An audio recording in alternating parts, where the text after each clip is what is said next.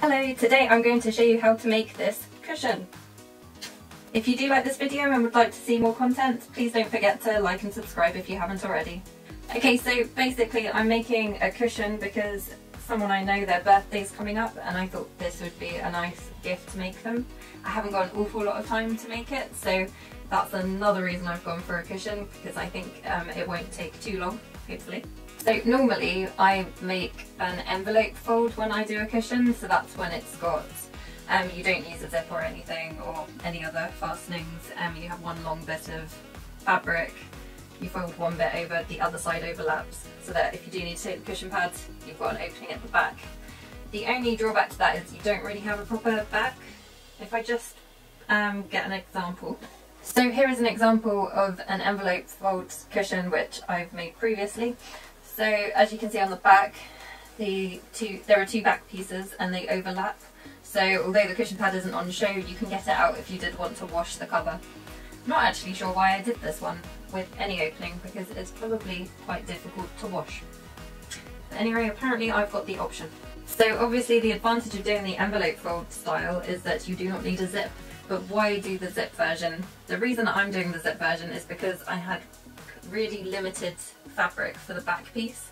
I wanted to use a plain white for the front because I'm going to do a bit of free machine embroidery on it.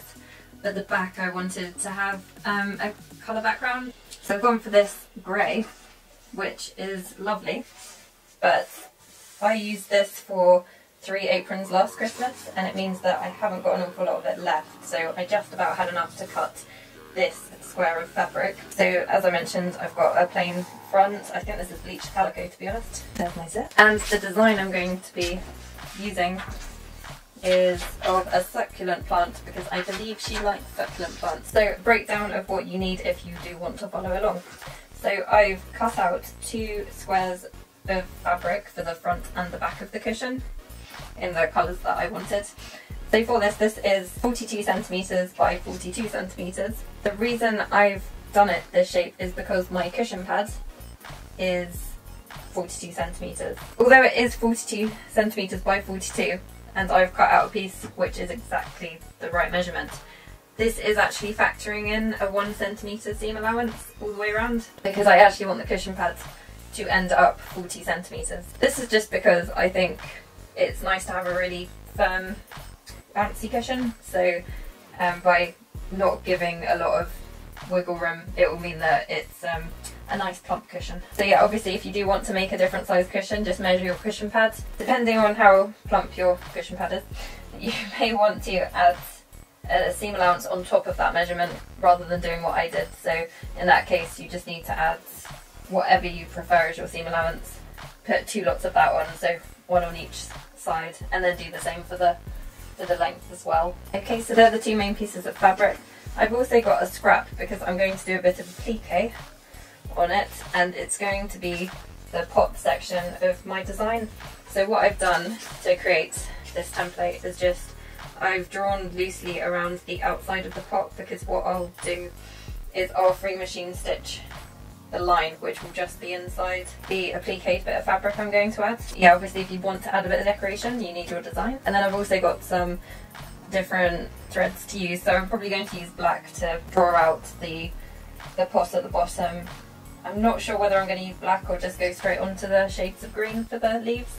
I'll have a think about it when I get there. Oh and obviously you need the zip as well so I've chosen one that's um, this one's actually quite long. It's 44 centimetres, so um, it's more than enough. So you just need to choose one that's essentially the um, length of one of your sides to ensure that you've got enough there. I've also got a magic pen to hand, so I use this when I want to be a bit more accurate with my free machine embroidery design. I'm also going to use a bit of Wonder Web to stick the plant pot section. Okay, so to begin with, I'm going to overlock all of the edges on my front piece and my back piece. I'm just doing this now just to get it over with. Normally I'd stitch a seam and then overlock it, but because I'm adding a zip, I don't want to forget to do it and put the zip in first, so that's my first job. Obviously if you don't have an overlocker, you can just use the overlocking seam on your sewing machine and do a zigzag stitch, or depending how much your fabric frays, you might even be able to just use pinking shears. Um, but as I do want this to be able to withstand the washing machine if they do decide to wash it every so often. Um, I just think that overlocking it will help it last longer.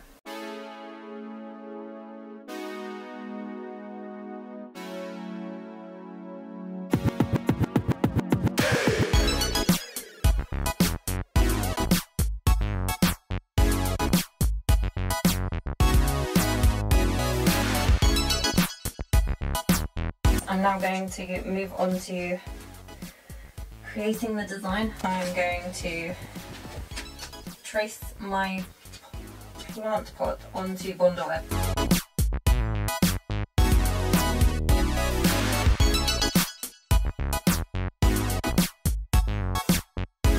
My Bondaweb's quite uh, old, so the um, the sticky layer and the paper layer are coming away from each other, so just something to bear in mind if you uh, don't use off your Bondaweb. So I'm just having to be extra careful that I'm holding on to both layers so that they cut together.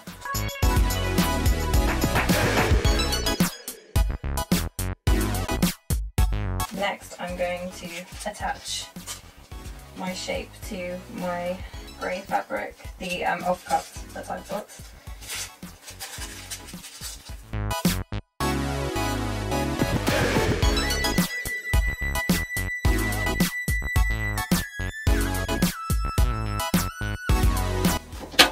You've got that side stuck, so obviously make sure the sticky side is against the fabric and you're ironing on the paper piece. Then you can cut it out. So I'm just cutting around the shape.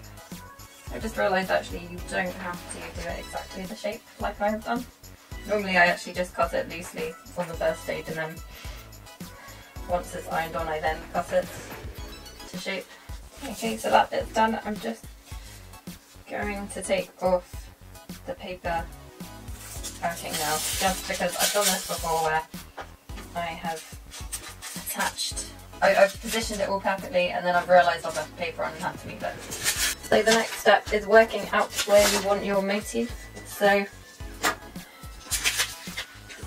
for this one, what I'm going to do is I'm going to work out roughly where the middle is.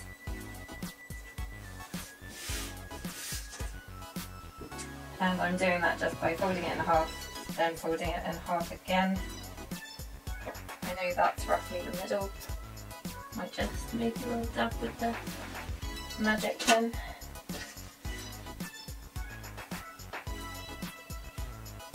And there we go, so I can see my middle there. Work out what the middle is on this as well.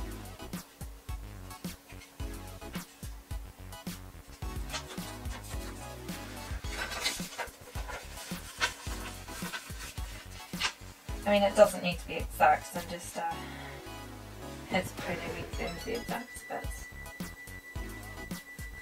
it's like a vague idea. X marks the spot. Hopefully I'll be able to see that underneath there. Okay, so I think I'm fairly happy with the positioning. So I know that I'm going to have this section here.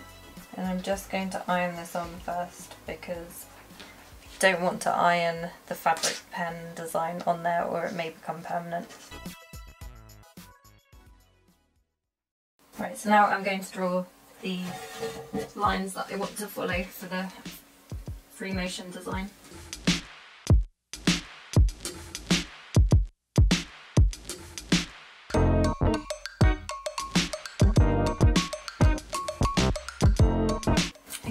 My design drawn out, I'm going to go onto the machine now. If you do want to make a similar design, basically what I did to find the design I wanted was I just had a quick look online, so I searched for succulents, found an image of a succulent that I liked, and then just used that to draw my own version.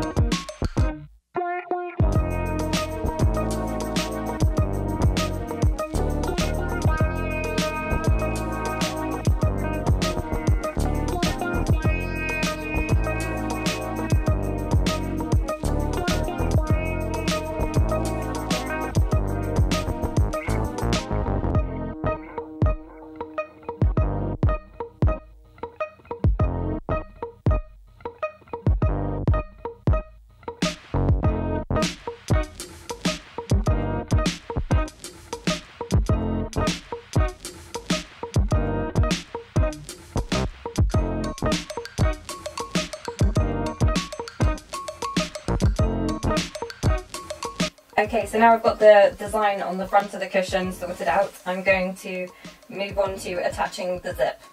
So I want my zip to be at the bottom of the cushion, so I'm going to move that over to one side. I'm then placing my back piece on top of the front piece so that they line up. Next I'm going to mark 4 centimetres from either edge of the side that I'm putting the zip on. The reason for this is just so that there's a bit of a border on either side so the whole edge isn't completely zip if that makes sense. So I've just marked that with the magic pen and then I'm just going to put a few clips in so that it stays in place as I move it over to the machine. So I'll just do a straight stitch over the 4 centimetre bit at the top end and the bottom end.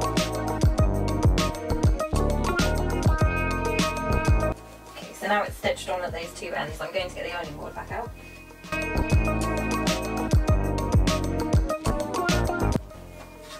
Okay, so with one side pressed out, I'm going to put the zip right side down.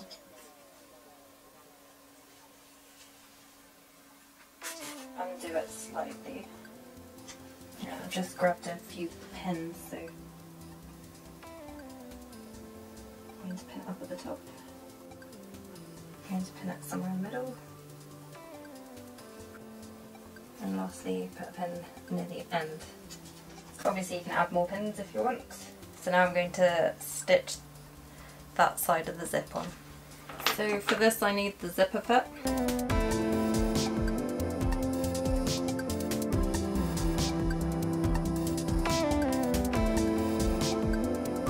Okay, so one side of the zip's attached, so next I need to the other side.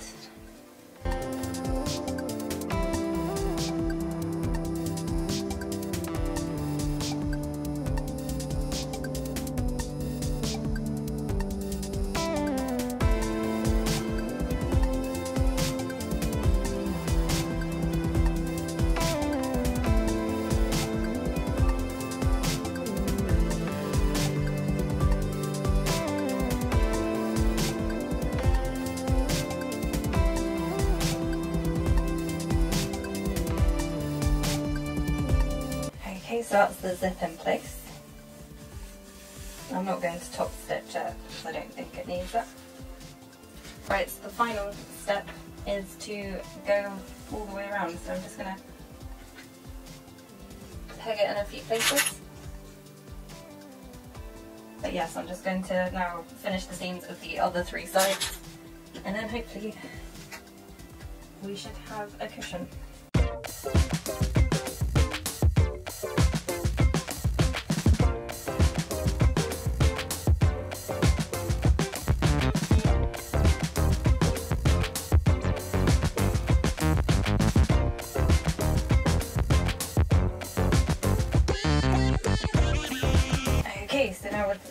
You might need to trim the corners just so they come out nicely. I'm just going to check how it is. Another thing to note is to make sure you have your zip open so that you can turn it right sides out, uh, which is what I forgot to do.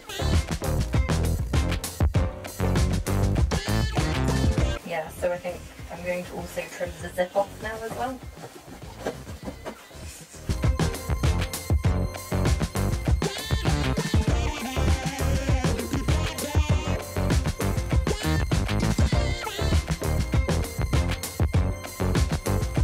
Okay, so there you have it. There's the cushion. So as you can see, it's not too difficult to add a zip. Um, it just, depending how much your fabric costs and where you get your zip, it's just cheaper to do an envelope fold rather than a zip one, but um, it does mean you use less fabric and also it means that you could have a, a, double design so you could have something on the back as well. Obviously I didn't in this instance, but it obviously has a much cleaner finish not having that. Um, you don't need a contrast zip like I've done. Um, it's just that I'm trying to not spend too much on my hobbies this year. So I've used one that I picked up in a charity shop in a previous year. So it only cost me 20p, which was brilliant. It's also a really nice metal zip. Um, and I think it goes nicely with the um, the green leaf, leaves on the succulent. Uh, that's it for this time. Thanks for watching.